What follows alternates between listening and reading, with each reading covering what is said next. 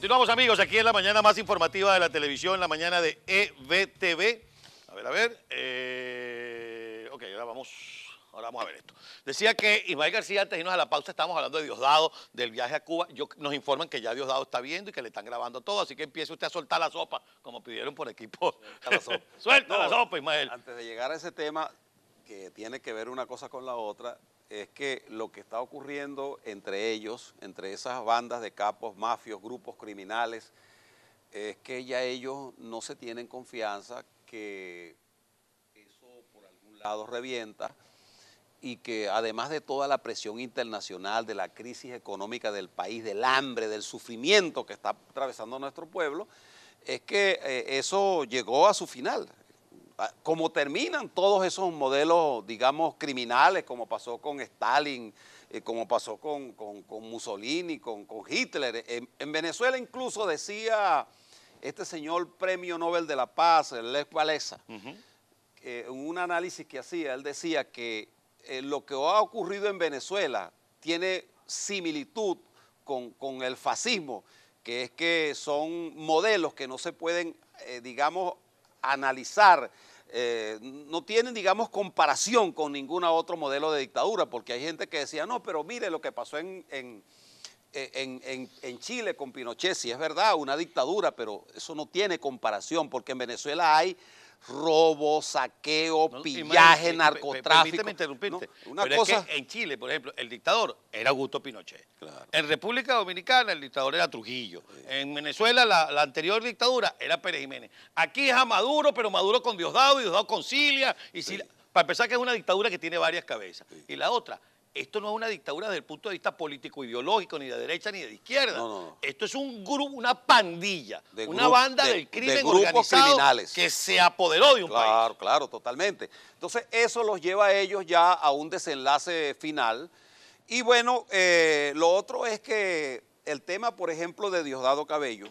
Diosdado Cabello es un personaje que él siempre nos decía, bueno, yo quiero que me prueben, que me presenten cosas. Mire, yo he presentado, como lo hice con el Pollo Carvajal, que duró tiempo desde el año 2010, ante el Gran Jurado de Nueva York y ante la Fiscalía del Sur de la Florida, este, documentos, pruebas, eh, eh, copias, movimientos, y al final se demostró que efectivamente ese señor era un- una persona que desde sus instancias de inteligencia del Estado venezolano participó en todas las operaciones de narcotráfico y hoy está preso en España y solicitado en este país.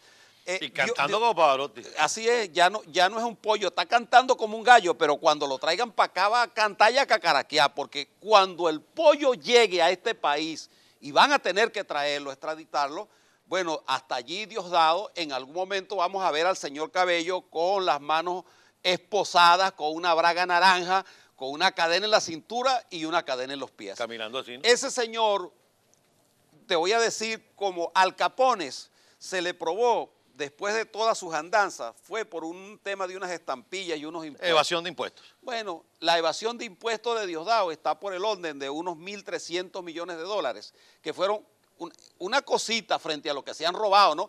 Porque en Venezuela el saqueo está por el orden de los 400 mil millones de dólares y el país allí está arrinconado, muerto de hambre, pasando trabajo.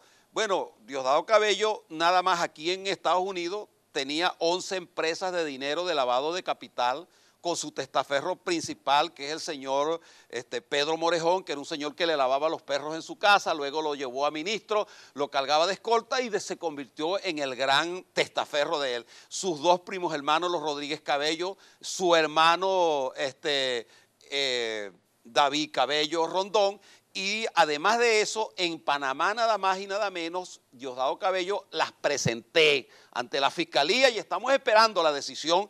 Este, 203 empresas de lavado de capital. La empresa que montó Carlos Andrés Pérez en el año 76 en Costa Rica, Lunasa, que era una empresa que traían el aluminio de Venezuela, de la siderúrgica del Orinoco, eh, el, aluminio bruto y ahí lo producían y entonces desde allí se vendía una empresa mixta que le producía a los, a los costarricenses y a nosotros los venezolanos. Bueno, esa empresa al final Diosdado la utilizó para lavado de dinero y para narcotráfico. Ya como no había producción de aluminio, compraban aluminios por el Caribe, en Panamá, en otros países, llevaban allá y cuando salía un barco de allí para Europa o para otro sitio, a lo mejor llevaba 200 kilos de aluminio, pero lo demás para completar los 3 o 4 mil o 2.500 kilos no eran aluminio, sino precisamente droga. Eso también está en un proceso de investigación y eso ya está en manos del gobierno de Juan Guaidó, que es el gobierno real, legítimo de nuestro país, este, porque eh, además allí eh, el Procurador General de la República conoce ¿Tú has estado trabajando, esa situación. ¿Tú has estado trabajando en las denuncias en los diferentes países? Todos esos temas, sí, totalmente. ¿Algo de eso tiene que ver tú ya, lo que puedas decir aquí en Estados Unidos? No, bueno, sí, sí, claro, pero yo más allá de, digamos, del término general, del número de empresas que ya lo presenté, del dinero y todas esas cantidades, yo confío en la justicia de este país porque además ya lo ha demostrado que este es un país donde se administra con seriedad y con responsabilidad la justicia y quien cumple las normas es respetado, pero quien las viola tiene que ser. Y, el, y, el, y la participación de Diosdado Cabello, mucho para mí, mucho más temprano que tarde, va a estar al descubierto y ese señor tendrá que entregar cuentas a la justicia internacional por capo, por criminal y por delincuente. Él ha dicho, bueno, que presente una prueba, Diosdado, yo te invito el día que tú quieras. Nos vemos en la puerta de la Fiscalía del Sur de la Florida. Si no vienes por las buenas, en algún momento te van a capturar y vas a venir. Y allí están todas las pruebas que yo he presentado y allí entonces las podemos discutir así como le dijo Alberto Federico Rabel que con la demanda que hubo contra la patilla, del medio del cual me hago absolutamente solidario, le dijo Alberto Federico en esas cosas que él escribe en su ocurrencia eh, de periodista que son muy buenas, le decía en estos días Diosdado, bueno, la demanda que me has metido, ¿cómo no vamos a vernos en, Nueva York o en la Florida para, para, cancelártela, ¿no? Bueno, eso mismo le digo yo a él porque tiene un programa eh, donde se utilizan, digamos, los, los recursos del Estado para descalificar y se llevan algunos militares que, por cierto, algunos que los veíamos aplaudiendo fueron, fueron algunos de los que se rebelaron el día 30 de abril. Por eso yo tampoco creo en que esa gente que los llevan a aplaudir a juro que les ponen seguramente una pistola en la cabeza porque la Fuerza Armada venezolana está súper vigilada, súper controlada, les revisan los teléfonos, los de ellos, los de sus esposas, los de sus familiares, y hay una persecución absolutamente fascista, pues en Venezuela hay un gobierno fascista o, una dictadura criminal fascista, este, ellos, para mí, las horas de esa gente están contadas. En el tema político. Ajá, ya quería que entráramos en el, tema político. En el tema político. Eh, y permíteme, permíteme hacer algunas reflexiones para que tú te extiendas allí, Ismael. Yo no sé si, me dice María Fernanda si vamos a una pausa y volvemos con Ismael, tú me, me informas. Eh, estamos en una situación que levantó el ánimo de los venezolanos y lo disparó en los meses de enero, febrero, marzo. Vino el 30 de abril, lo que muchos han considerado, que muchos lo, lo califican como un paso más de avance, otros como una derrota de carácter militar, otros como una negociación oscura, para algunos se adelantó. Yo no me voy a poner en este momento a deshojar esa margarita, pero sí quisiera que nos identificaras en qué estatus estamos ahora. Porque uno abre, por ejemplo, las redes sociales y la gente dice que se siente desesperanzada, que la cosa se espichó. Incluso están en esta práctica de ya no me sirve Guaidó porque no salimos de, de Maduro en tres meses, ¿a quién vamos ahora?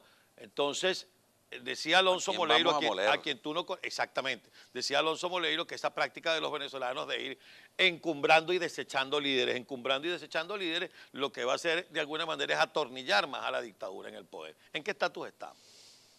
Bueno, mira, en primer lugar hay que reconocer el esfuerzo que se ha hecho desde la Asamblea Nacional y eh, Guaidó apareció como una bendición de Dios cuando Guaidó es nombrado presidente de la Asamblea Nacional para nosotros, para los venezolanos, al día siguiente, cuando pasó la instalación, entonces la gente dijo, oye, pero el hombre no se juramentó. Ah, no, chico, esto es más de lo mismo. No se juramentó porque querían que allí, en el mismo acto, donde se juramentaba como presidente de la Asamblea, dijera, yo soy el presidente del país.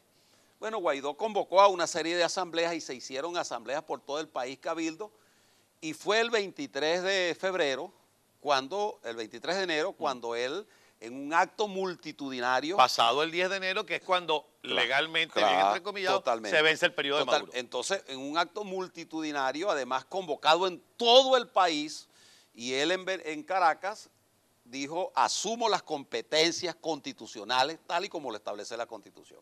Entonces los mismos que habían dicho, entonces pasaron, ah, sí, vale, el hombre se juramentó, sí es verdad. Entonces, bueno, vino toda una movilización en Venezuela y ocurrieron una cantidad de hechos que eh, fueron consolidando, y no solamente en el país, sino en el mundo entero, construyendo eh, la fortaleza de un liderazgo que el país necesitaba, que se presentó como un liderazgo fresco, distinto, ¿no? y, y agrupó a todos los sectores. Y produjo una cosa que en Venezuela siempre hemos querido y creído y luchamos, que contradice lo que dijo el señor eh, canciller de los Estados Unidos en estos días, que decía que habían 40 aspirantes a presidente y que estábamos divididos. No, es que la unidad de Venezuela en este momento no es una unidad de aparatos, no es una MUD donde están unos partidos más grandes, más pequeños, donde está un grupo G5, G6, G9. No, la unidad de Venezuela en este momento se ha construido alrededor de un liderazgo que se llama Juan Guaidó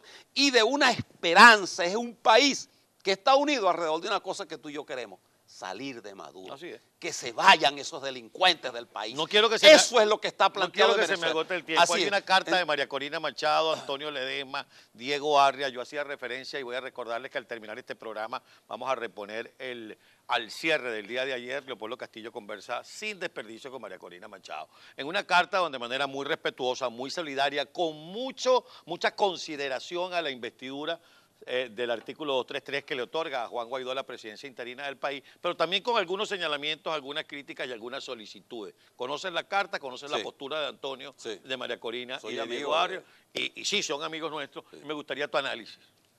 Mira, con muchísimo respeto, porque hay gente que dice, bueno, yo este, no sé qué, pero es que Antonio tal cosa. Yo no voy a descalificar a nadie, porque Antonio está pasando por una situación tan complicada y tan difícil como todos los que estamos perseguidos. Y al igual que María Corina, a quien le despojaron su investidura y además, además, la tienen presa en el país, no la dejan salir. Claro, y además se las ha jugado todas. María Corina igual. Este, mira, eh, creo que en este momento eh, las mismas intenciones, los mismos deseos que tiene Antonio Ledesma y María Corina son los que tú y yo tenemos. ¿Qué es eso? Que, haya un cambio en Venezuela. Y por supuesto, hay consideraciones que tienen que ser tomadas en cuenta porque pero, pero hay que seguir en la ruta que ha marcado Juan Guaidó. Eh, aquí no podemos ninguno descalificarnos porque todos nos necesitamos y todos somos necesarios para esta, para esta lucha, para este combate. Eh, ahora, el, camino que tiene que haber es que entre nosotros cada día tiene que construirse mayor confianza. Yo tengo plena y absoluta confianza en lo que está desarrollando y llevando adelante Juan Guaidó, pero además creo que el esfuerzo que se ha hecho desde todas las instancias, desde los partidos, desde los países de, la comunidad andina, los Estados Unidos, los gobiernos democráticos del mundo, eh, se ha hecho un esfuerzo que eh, no puede ser, eh, digamos, descalificado absolutamente por nadie, sino, por, el, sino, por el contrario, obviamente sumar el esfuerzo. Obviamente con Antonio y Diego Arria no, porque primero Diego está perseguido, le expropiaron eh, su hacienda en, Venezuela, Antonio ya sabemos las circunstancias en las que se encuentra, tuvo más bien que evadirse del país para poder eh, de alguna manera hacer un trabajo desde el exilio, como lo has venido haciendo tú y otros dirigentes políticos en el exterior. Pero existe la posibilidad de pronto de ver sentado a Juan Guaidó, a María Corina Machado y al equipo que le acompaña para que de alguna manera podamos allanar, o sea, buscar los puntos que, nos Es que, para allá iba, es que, para allá iba, porque, digamos, Antonio lo sabe, porque es mi amigo, le tengo mucho aprecio, que yo creo que ha llegado la hora en que tenemos que decirnos las cosas más cara a cara. No es que eso no se pueda hacer, pero yo creo que hay que levantar el teléfono. Mira, yo te propongo que hagas tal cosa, yo te digo que hagas tal cosa.